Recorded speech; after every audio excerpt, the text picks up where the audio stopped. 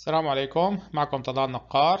آه هي المحاضرة ترتيبها خمسة بسلسلة ال nephropathology حنعرض فيها ثلاث أسئلة. حيكون تقويم لمحاضرة ال proteinuria. يفضل سماع محاضرة ال proteinuria بداية قبل أنه تستمعوا لهي الأسئلة. السؤال الأول. معنا حالة مريضة عمرها 73 سنة محولة للعيادة للتقييم بسبب وجود قصور كلوي مع فقر دم عندها. تحاليلها أظهرت خضاب قيمته أو هيموغلوبين قيمته 8 كان من سنة 11 عندها الكرياتينين تضاعف خلال سنة حاليا 1.8 من سنة كان 0.9 الصوديوم 132 البوتاسيوم 4.6 الكالسيوم 10.8 والحد الأعلى هو 10.5 ففي عندي triad hypercalcemia anemia renal failure. شو لازم نفكر لازم نفكر بال myeloma نعمل لها serum protein electrophoresis اللي هو رحلان البروتينات الكهربي بالمصل. فأظهر monoclonal spikes بال gamma gamma region اللي هو monoclonal gammopathy اعتلال جاما وحيد النسيلة.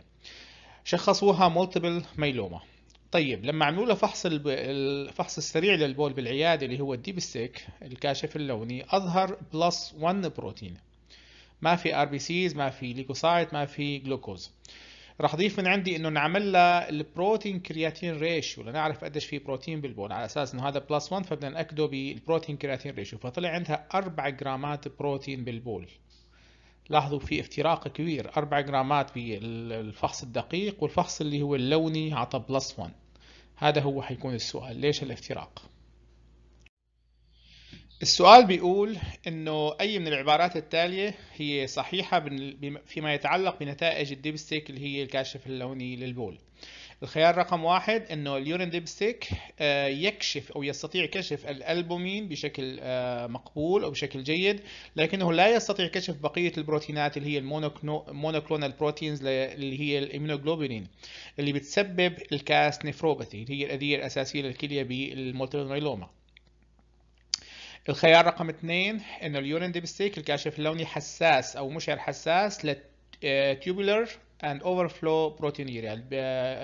بالمحاضرة الماضية شرحت أنواع ال proteinuria الأربعة فيكم ترجعوا تسمعوها مرة ثانية فال urine dipstick بيقدر يكشف النوع ال tubular وال overflow هيك عم يقول الخيار صح أو غلط؟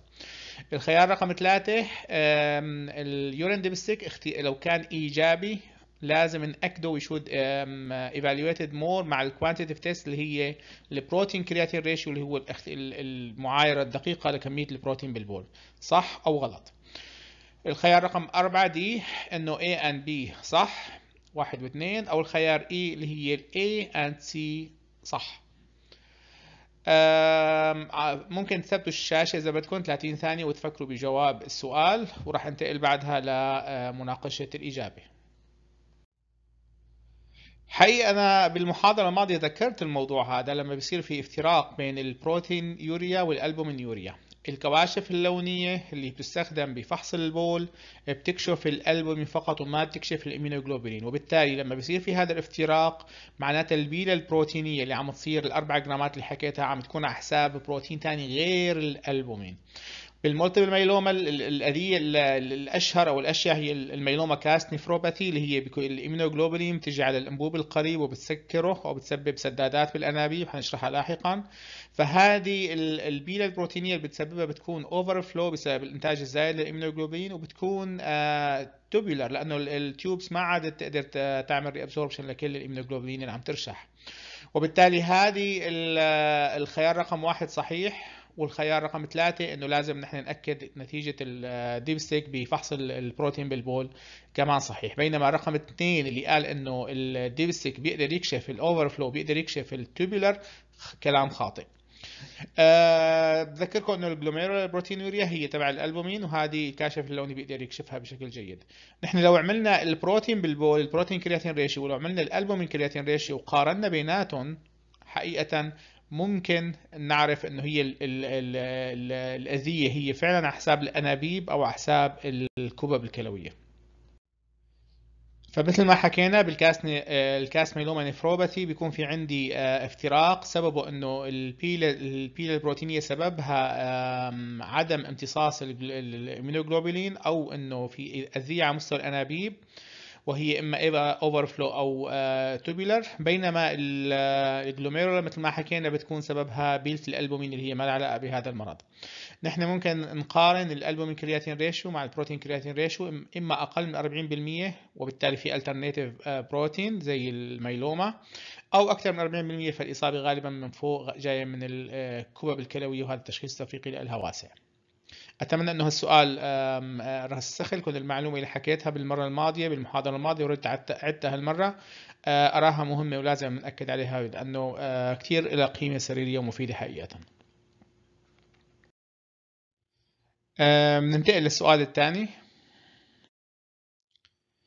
السؤال الثاني حقيقة هو سؤال امتحاني هدفه فقط تركيز المعلومة ربما ما له قيمة سريرية. السؤال هو من من البروتينات التالية ما هو المركبات أو البروتينات اللي بتكون ضرورية أو مفيدة بال absorption لل filtrated protein اللي هي البروتينات الراشحة مثل ما حكينا بالمحاضرة الأولى أن البروتينات أو في جزء من الألبومين كثير قليل بيرشح عبر عبر الكبب وال immunoglobulin وبقية البروتينات الإيجابية الشحنة بترشح وكلها يعاد امتصاصها عبر ال proximal tubule cells فشو هي البروتينات المفيدة أو الضرورية بهذه ال reabsorption؟ هل هو ال uromodulin؟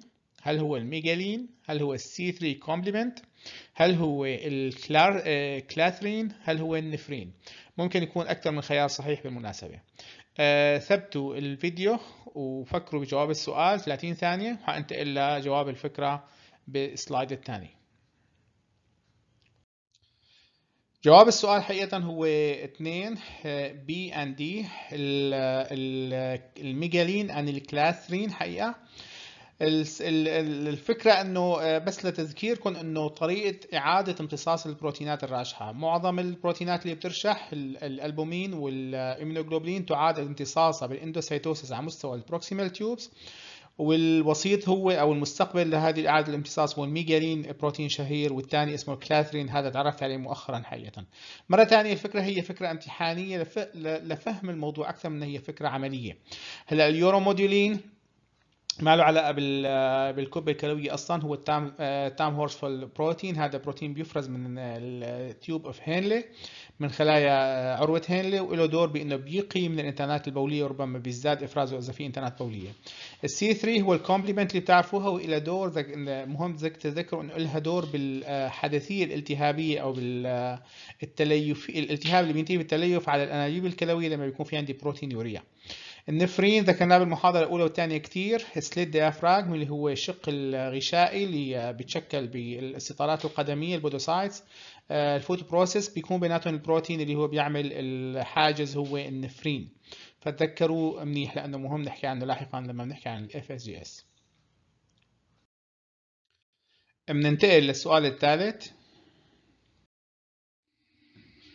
هذا السؤال مهم حقيقة وحابب انكم تأكدوا عليه. ما ذكرته بالمحاضرة لأنه معلومة شوي نظرية بس التطبيقات العملية كتير مهمة. ربما بفيد بتدبير مرضى الالتهابات الكبب والكلية. إنه شو هو دور ال angiotensin المفرز locally بالموضع؟ ما هو دوره في الأذية الكبية؟ هل ال angiotensin 2 بيساهم بالأذية الكبب الكلوية أول آلية إنه هو بيعمل glomerular hypertension ارتفاع ضغط ضمن الكبب الكلوية وبالتالي هذا بيزيد الرشح الكبي وبالتالي بيزيد من كمية البروتين الراشحة وبيعمل damage more damage more injury هاي رقم واحد. رقم اثنين إنه ال angiotensin 2 بيأثر على ال podocytes وبيعمل وبيعمل تثبيط لل nephrin expression لتركيب ال nephrin أو التعبير عن ال nephrin وبالتالي بيأثر على الحاجز حاجز الكبي اللي هو أساس الرشح مثل ما قلنا ال nephrin كثير مهم بهذا الموضوع. فالانجيوتنسين 2 بيعمل بيشتغل على البودوسايت نفسها وبيأثر على النفرين اكسبريشن رقم ثلاثة الآلية الثالثة على البرايتال سيل. إنه الانجيوتنسين 2 بيعمل اكتيفيشن للبرايتال سيلز البرايتال ابيثيل البروجينيتال سيلز وهذا الشيء ممكن يسي أو مثل ما قلنا هي برايتال كثير كثير دور أساسي بتدهور الكبب الكلوية. هي ثلاث احتمالات. الاحتمال الرابع إنه كلهم صحيحات. فشو برأيكم الجواب؟ ثبتوا الفيديو فكروا في 30 ثانية واختاروا الإجابة الصحيحة اللي حتكون بالسلايد اللي بعده. آه، الجواب حقيقة هو D. كل ما سبق صحيح الـ angiotensin 2 له دور برفع الضغط ضمن الكبة الكلوية وبالتالي بيزيد الرشح بيزيد من كمية البروتين الراشحة. إضافة لأنه بيأثر على ال podocytes مباشرة مثل ما حكينا على ال nephrin expression وبيأثر على ال parietal cells بيعمل لها activation وال parietal cells بتعمل sclerosis لاحقا وبتزيد من الأذية. آه السؤال كثير مهم لازم نتذكره لأنه الجزء آه، أساسي من علاج كل ال proteinuria التهابات بالكلية أو اصابات الكبد بالكلية بتترافق مع proteinuria إنك تعطي آه، RAAS RAAS inhibition إما إنك تعطي ACE inhibitor أو تعطي ARBs آه، واحد منهم لازم يكون في سبب وجيه إنك ما تعطي ال ACE inhibitor أو ال ARBs واحد منهم لازم يكون يا إما تعطي ليسينوبريل آه، أو غيره إخواته أو تعطي لوسرتان أو إخواته ولازم يكون في مضاد استطباب قطعي لحتى ما تعطي واحد من هدول الاثنين. لأنه مثل ما قلنا البروتينوريا بحد ذاتها بغض النظر عن السبب اللي أدى لها بتزيد من اذيه الانابيب الكلوية؟ وبتسرع من تدهور الوظيفة الكلوية؟ سؤال جدا مهم حبيت آه، أعيده وزيد عليه مرة ثانية ولا لا يا ريت كلكم تتذكروا هذا المعلومة لأنه هي حتتكرر معنا كثير بالمحاضرات. هيك بيكون وصلنا لنهاية النقاش الأسئلة اللي اخترتها. أتمنى أن يكون وفقت باختياري بتعزيز الأفكار المطلوبة بمحاضرة ال proteinuria. المحاضرة القادمة هتكون عن ال hematuria لا تنسوا تعملوا like وال share وال subscribe للقناة. آه، نجاح ال course بيعتمد على وصوله للأشخاص اللي ممكن يستفيدوا منه. وإن شاء الله يا رب نكون آه، ماشيين على الطريق الصحيح.